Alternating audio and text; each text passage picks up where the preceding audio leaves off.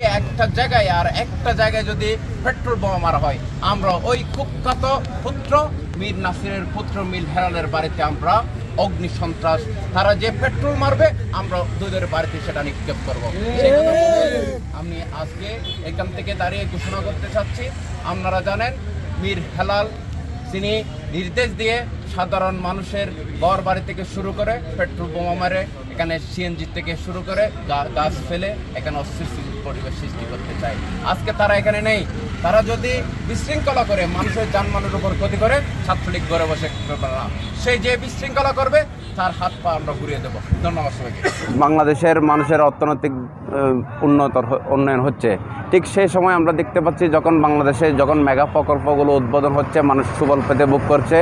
আমরা দেখতে পেয়েছি মাননীয় প্রধানমন্ত্রী আঠাশ তারিখ যখন কর্ণফুলী নদীতে বঙ্গবন্ধুর টানেল উদ্বোধন করেছেন, ঠিক সে সময়ে বিএনপি এবং জামাত তারা পরিকল্পিতভাবে বাংলাদেশকে একটা অকার্যকর রাষ্ট্র পরিণত করতে চায়।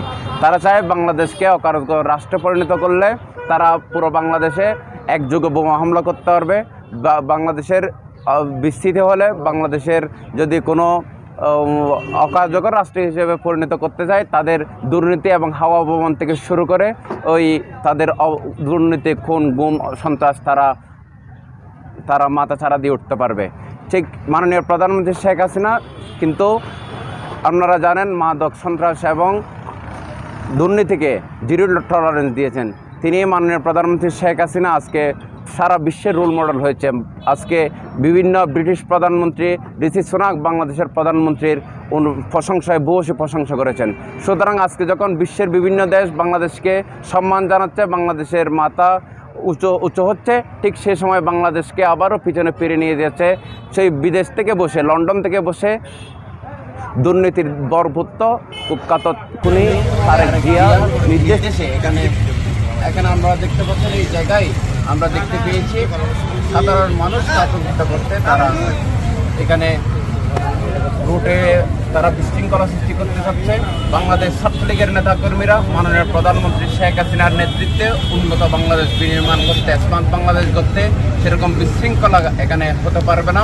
বাংলাদেশ স্বাস্থ্যময় ছাত্রলীগ সবসময় ছাত্র সমাজকে পাশে নিয়ে, এলাকার সর্বোচ্চ সর্বসাধারণকে পাশে নিয়ে ওই সন্ত্রাসী, নাশকতাকারী এবং বিশৃঙ্খলা কাজকে প্রতিরোধ করতে আজকে আমরা যারা ছাত্রলীগের এবং উপজেলা ছাত্রলীগের নেতৃবৃন্দ এই জায়গায় আসার একটি উদ্দেশ্য।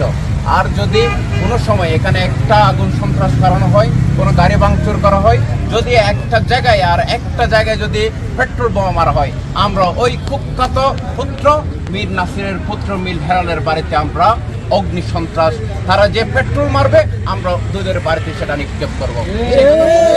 আমি আজকে এখান থেকে দাঁড়িয়ে ঘোষণা করতে চাচ্ছি। আপনারা জানেন, মীর হেলাল তিনি নির্দেশ দিয়ে সাধারণ মানুষের ঘর বাড়ি থেকে শুরু করে পেট্রোল বোমা মারে, এখানে সিএনজি থেকে শুরু করে গাছ ফেলে এখানে অস্থিতিশীল পরিবেশ সৃষ্টি করতে চায়। আজকে তারা এখানে নেই। তারা যদি বিশৃঙ্খলা করে, মানুষের যানবাহনের উপর ক্ষতি করে, ছাত্রলীগ ঘরে বসে। সেই যে বিশৃঙ্খলা করবে, তার হাত পা আমরা ঘুরিয়ে দেবো। ধন্যবাদ সবাইকে।